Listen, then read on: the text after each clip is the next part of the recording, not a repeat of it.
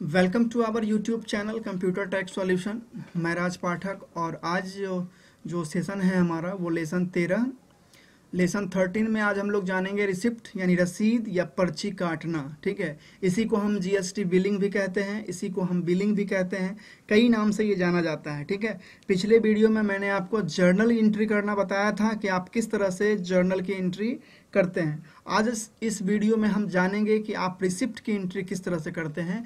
कोई दुकानदार मुझे जब बिलिंग करेगा, यानी मुझे ड्यू का जब रिसिप्ट भेजेगा तो हम उसे पेमेंट कैसे करेंगे और वो रिसिप्ट कैसे होगा, ठीक है? तो आप वीडियो के साथ बने रहिए और जिन्होंने भी हमारे इस चैनल को सब्सक्राइब नहीं किया है, आप जल्द से जल्द इसे सब्सक्राइब करें लाइक करें कमेंट करें और अपने फैमिली फ्रेंड्स ग्रुप के साथ ज़रूर इसे शेयर करें ताकि उन्हें कंप्यूटर एजुकेशन से रिलेटेड ठीक है? और अकाउंट्स विथ जीएसटी के रिलेटेड कोई इशू ना रहे, ठीक है? तो जल्द से जल्द हम बिना देरी किए वीडियो को स्टार्ट करते हैं।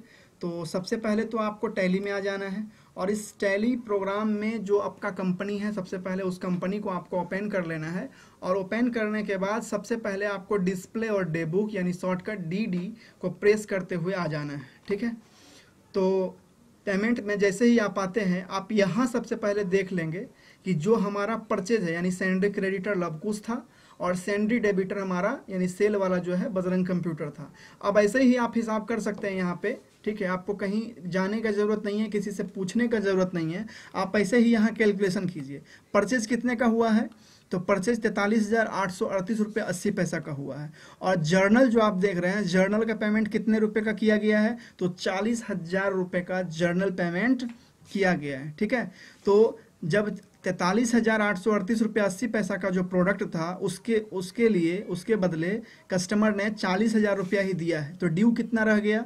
तो तीन हज़ार आठ सौ अड़तीस रुपया अस्सी पैसा, ठीक है?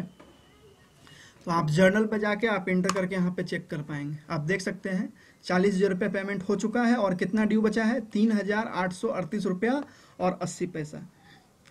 तो ड्यू हमारा इतना है। तो दुकानदार क्या करेगा कि सबसे पहले तो दुकानदार जो है वो आपको ड्यू भेजेगा, ठीक है? यानी ड्यू जो भी आपका बिलिंग है, जो ड्यू है हमारा एक्चुअल में जो ड्यू है, वो तीन हज़ार आठ सौ अड़तीस रुपये अस्सी पैसा है। तो दुकानदार क्या करेगा? मुझे इतना रुपये का बिल भेजेगा, ठीक है, कि आपका ये पेमेंट ड्यू है और मैं इसके बदले आपको पेमेंट करूँ। ठीक है? तो इसके लिए हम समझ गए हैं। सबसे पहले तो आपको ये याद रख लेना है, ठीक है? और इन्हीं चीज़ों को आपको ध्यान में रखना है, क्योंकि इसका मतलब ये नहीं है कि अड़तीस सौ अड़तीस रुपया अस्सी पैसा का बिल है और कस्ट जो दुकानदार है हमको अगर चार हज़ार या पाँच हज़ार का बिल भेज दे तो आप उसे ड्यू समझ के उसे दे दीजिएगा। जबकि आपको यहाँ पे कैलकुलेशन, यानी आपका पूरा हिसाब आपको मिलाना पड़ेगा कि कितना रुपया मैंने पेमेंट कर दिया है और कितना रुपया ड्यू रहेगा, ठीक है? तो चालीस हज़ार रुपये का पेमेंट हो चुका है और बदले में ड्यू कितना है? अड़तीस सौ अड़तीस रुपया अस्सी पैसा। तो दुकानदार मुझे कितने का बिल भेजेगा? अड़तीस सौ अड़तीस रुपया अस्सी पैसे का, ठीक है? तो बैक करेंगे हम। और सिंपल आपको आना है कहाँ? अकाउंटिंग भोचर आप यहाँ पे एंटर कर देना। इंटर जैसे ही आप करोगे, आपके सामने जर्नल दिखाई दे रहा है। आप थोड़ा सा इसके ऊपर आइए तो आपको यहाँ दिखाई देगा एप सिक्स और एप सिक्स का मतलब होता है रिसिप्ट ठीक है? एप सिक्स का मतलब होगा रिसिप्ट और रिसिप्ट का मतलब होता है पर्ची काटना या बिल करना, ठीक है, या बिल बना के देना। ठीक है, आप देख सकते हैं टेली अकाउंट्स वर्क में रिसिप्ट टेली एफ़ सिक्स ठीक है, रसीद या फिर पर्ची काटना और Tally E R P nine में उधारी, बकाया राशि रिसिप्ट स्टेप बाय स्टेप आपको हिंदी में इसमें बताया गया है। आप लोग पूरे वीडियो को देखें, पूरे वीडियो में बने रहे, बिना स्किप किए, क्योंकि बीच बीच में आपको थ्योरी भी इसी के साथ इंक्लूड है। मैं थ्योरी अलग से नहीं पढ़ा रहा हूँ, ठीक है, आपको थ्योरी विथ लैब, आपको टोटल आपको ऑनलाइन में यहाँ पे मिल रहा है, ठीक है? तो देखिए, रिसिप्ट के लिए क्या करेगा? सबसे पहले आपको F6 पे आके क्लिक कर देना है। जैसे ही आप F6 पे क्लिक करेंगे, आपके सामने रिसिप्ट का एक ऑप्शन आ जाएगा, रिसिप्ट नंबर वन। ये receipt number one, two, three, four, क्योंकि एक दुकान में कोई एक प्रोडक्ट नहीं होता है। बहुत सारे प्रोडक्ट होते हैं, ठीक है? तो ये क्या करेगा? आप वन बाय वन करके एक एक करके आप उसको चेक कर सकते हैं। तो देखिए, रिसिप्ट कौन काटेगा? यानी पर्ची जो है आपका, जो बिल है ड्यू का, वो कौन काटेगा? दुकानदार या फिर ग्राहक? क्योंकि जो सामान देगा, वही ग्राहक, वही दुकानदार है और वही आपको काट सकता है बिल, ठीक है? ऐसा नहीं कि ग्राहक ही उल्टा दुकानदार को बिल देगा। तो बिल जब भी देगा तो कौन देगा? तो सेंडरी क्रेडिटर देगा। ये चीज़ आपको ध्यान में रखना है कि बिल जब भी देगा तो कौन देगा? तो सेंड्री डेबिटर देगा, ठीक है? जो, यानी जो दुकानदार होगा। तो सिंपल आपको क्या करना है? यहाँ पे आपको कैश रखना है, ठीक है? यहाँ पे आपको कैश रख देना है और यहाँ पे सेंड्री डेबिटर आपका कौन है ये आपको देख लेना है। तो सेंड्री डेबिटर हमारा कौन है? तो बजरंग कंप्यूटर पार्ट्स है। जैसे ही आप इंटर प्रेस करेंगे, ठीक है? तो बजरंग कंप्यूटर पार्ट्स ये बिलिंग करेगा। कितने रुपए का? तो अड़तीस सौ अड़तीस रुपया और अस्सी पैसे का, ठीक है? अब इस पर मत जाइएगा, क्योंकि यहाँ बजरंग कंप्यूटर पार्ट्स जो हमारे, जो दुकानदार है उसके अंदर करंट बैलेंस दिखा रहा है दस हज़ार दस हज़ार छः सौ नौ रुपये पैंतीस पैसे। ये आपको यहाँ दिखा रहा है। तो ये इसका गल्ला है, ठीक है? ये इसका गोदाम है। ये पेमेंट को रखता है, क्योंकि एक दुकानदार में ऐसा नहीं है कि आपने जो प्रोडक्ट खरीदा है, उसी का पेमेंट वो रखेगा।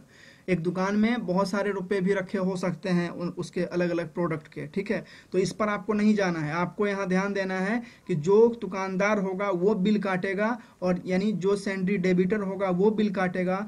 जितने रुपए का, कितने रुपए का काटेगा तो जितना रुपया ड्यू है, उतना रुपये का काटेगा, ठीक है? तो अड़तीस सौ अड़तीस रुपया अस्सी पैसा हमारा क्या था? ड्यू था। ड्यू किया गया और यहाँ पे इंटर कर दिया जाएगा। ठीक है, कैसे वो अकाउंट पेमेंट लेना चाहता है तो ऑन अकाउंट पर इंटर प्रेस करेंगे और फिर यहाँ पे इंटर करके एक्सेप्ट कर देंगे। ठीक है, ये हो गया हमारा बिलिंग ठीक है। अब किसी एक प्रोडक्ट का अगर बिलिंग है, ठीक है तो आप एक ही काटोगे। अगर मान लीजिए अलग अलग प्रोडक्ट है तो इंटर करके फिर आप नेक्स्ट जो दूसरा डेबिटर होगा, उसका आप काट सकते हैं, ठीक है। फ़िलहाल मेरा एक ही है तो हम यहाँ एंड ऑफ़ लिस्ट करेंगे। दूसरा अगर रहेगा तो आपको डेबिटर को देख लेना है कि कौन सा डेबिटर आपका है, उसके अकॉर्डिंग आप यहाँ पे सेलेक्ट करेंगे। यहाँ इंड ऑफ़ लिस्ट करना है और यहाँ सिंपल वे में इसको एक्सेप्ट कर देना है, ठीक है? तो हम यहाँ पे क्या सीखे? थोड़ा सा आप समझिएगा डिस्प्ले डे बुक में जाके। डी हम आए। अब यहाँ देखिए। यहाँ से आप समझिएगा पहले। देखिए परचेज है तो परचेज कितने रुपए का है? तैतालीस हज़ार आठ सौ अड़तीस रुपया अस्सी पैसा का क्या है? परचेज है।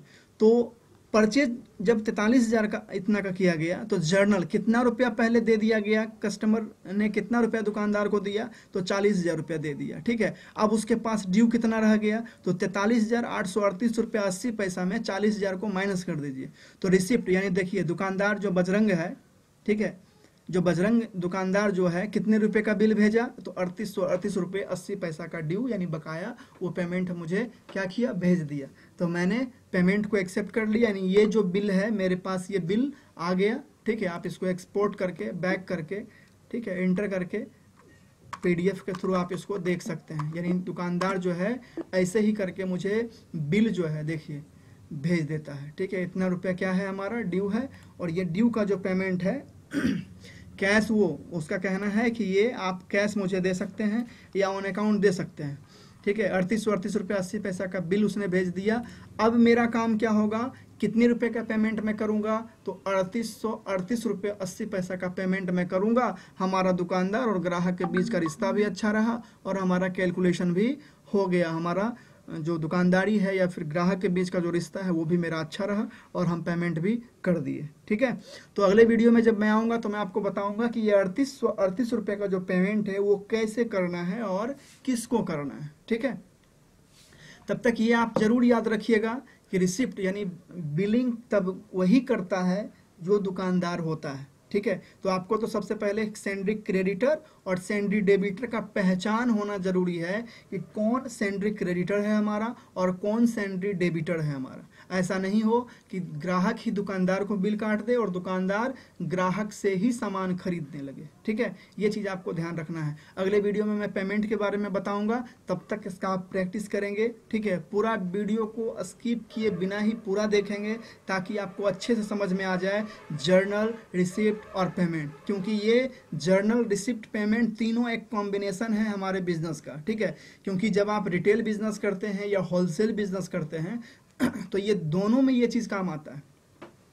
आप एक छोटा सा कोई एक प्रोडक्ट एक शैम्पू एक साबुन भी अगर खरीदने के लिए जाते हैं तो उसमें भी ये तीन चीज़ होता है। आप मान लीजिए एक शैम्पू खरीदने के लिए गए किसी दुकान में, ठीक है, और दुकानदार आपको शैम्पू दे दिया। आप बोल दिए कि पेमेंट हम बाद में दे देंगे, चाहे वो पाँच का हो, दस का हो। तो पेमेंट अगर बाद में देंगे तो दुकानदार क्या करेगा, आपको पाँच रुपये का बिल भेजेगा। या फिर आपको कहेगा कि पाँच रुपये आपके पास ड्यू है, बकाया है, तब आप क्या कीजिएगा? आप उसे जाके पेमेंट कीजिएगा। तो ये तीनों जो है ना F seven F six F five ये तीनों एक कॉम्बिनेशन है बिज़नेस का, ठीक है? इसके बिना बिज़नेस नहीं हो सकता। अब अगर बात अगर की जाए कि सिंपल हम आते हैं पहले यहाँ अकाउंटिंग वोचर में। अब अगर हम सिंपल से बात करें, ठीक है? सिंपल सी बात करें तो एफ़ सेवन हो जाए, हो जाएगा हमारा बिलिंग एफ़ सिक्स हो जाएगा पर्ची काटना और एफ़ फाइव हो जाएगा पेमेंट करना। अब ये तीन चीज़ कभी कभी काम नहीं किया जाता है। जब आप उधारी नहीं देते हैं किसी कस्टमर को, यानी जब कोई दुकान, ग्राहक आपके दुकान में आके आपसे उधारी नहीं लेता है तो ये तीनों का काम ही नहीं है। ठीक है? ये तीनों का काम तभी पड़ता है जब आप कोई किसी भी दुकानदार से कोई प्रोडक्ट उधारी खरीदते हैं या वो ड्यू रह जाता है। ठीक है? अगर मान लीजिए चाल तैतालीस हज़ार, अब यहाँ समझिएगा थोड़ा सा अगर मान लीजिए तैतालीस हज़ार आठ सौ अड़तीस रुपये अस्सी पैसा का सामान मैंने खरीदा और मैंने इतना रुपया अगर एक ही बार में कस्टमर दुकानदार को अगर हम कैश कर दें पेमेंट दे दें तो वो क्यों मुझे बिल भेजेगा? जर्नल क्यों करेगा? रिसिप्ट क्यों भेजेगा? पेमेंट क्यों करेंगे हम उसको? क्योंकि मैंने एक ही बार वन टाइम पेमेंट मैंने उसको कर दिया। तो ये कभी कभी ये तीन जो है ना F seven F six F five तीनों कभी कभी नहीं होता है।